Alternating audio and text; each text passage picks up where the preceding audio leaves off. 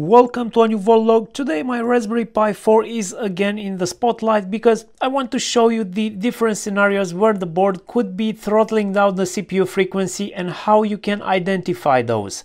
Because it might be a case where your Raspberry Pi is running slow on a particular task and you don't know why because there is no built-in mechanism to let you know when the board is throttling down.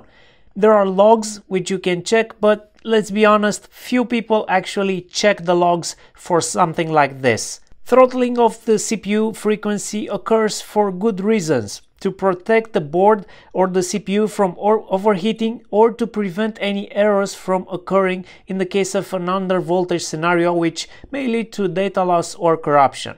This video is sponsored by jlcpcb.com, a professional PCB supplier who can offer 24 hours turnaround time for prototype PCBs for just $2. You also have a selection of solder mask colors with no extra cost and affordable laser cut stencils, so it's definitely worth checking them out. Luckily, there is a way to check if your system is under one of these conditions. You can run this command on your Raspberry Pi and the response you'll get will be one of these numbers you see here. This is a bit pattern, so the command we ran earlier will give us a hex output that we need to convert to binary and then check if particular bits are set or not according to our bit pattern.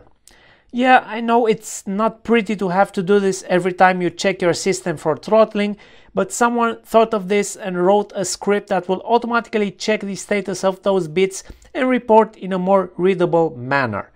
I found this on GitHub from a user named Alan.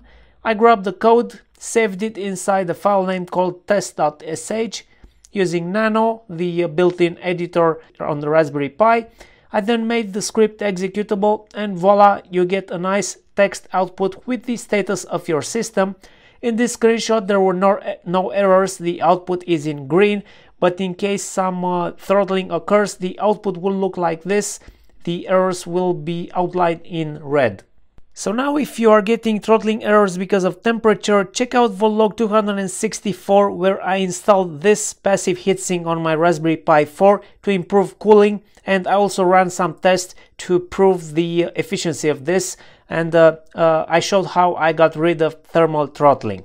If you are getting under voltage error, then your Raspberry Pi is not powered properly. It could be the 5 volts power supply you are using is sagging or not able to provide enough current, or it could be a bad USB Type-C adapter and cable because uh, at the end of the USB Type-C cable that I was uh, using, um, I had less than 5 volts when the Raspberry Pi was booting. There was simply a voltage drop on uh, this long cable and the um, Apple MacBook adapter that I use for testing. So I replaced this with another adapter and a shorter cable and the problem was solved. So there you have it. This was a short video to show you how to identify and fix two of the reasons that throttling might occur on your Raspberry Pi. You can even build your own scripts to monitor and notify you if throttling is occurring on your system. This can be useful if you run your system unattended in a remote location. Thank you for watching this video. Don't forget you can support the channel on Patreon. There is a link in the description below the video. And as usual, I would appreciate your feedback in the comments below. Let me know what you think and I'll see you next time.